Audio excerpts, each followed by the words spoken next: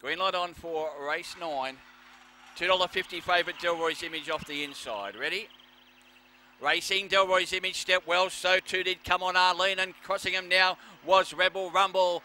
Sorry, it's come on Arlene going to the front. Going to second on the inside now. Delroy's image. Up to third there was Conroy's boy. Well back there was Storm Maiden and so too was Dodge the Roger as they swing for home and in front is Rebel is come on Arlene. Tackling on the outside there was Delroy's image. Delroy's image coming away and Delroy's image scores. Close second. Storm Maiden flew. There was Conroy's boy. Behind them was Ted Adios. Well back Dodge the Roger with Rebel Rumble. Macy's Boots was back near the rear.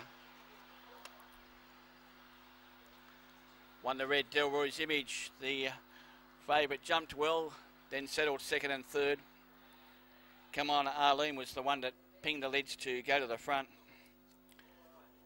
Delroy's image joined it just before the bend and come away to score scoring 24.95.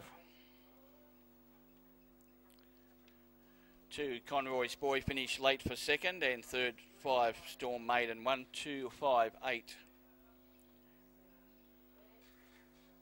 Freelance by ahead, freelance by ahead, 24.95.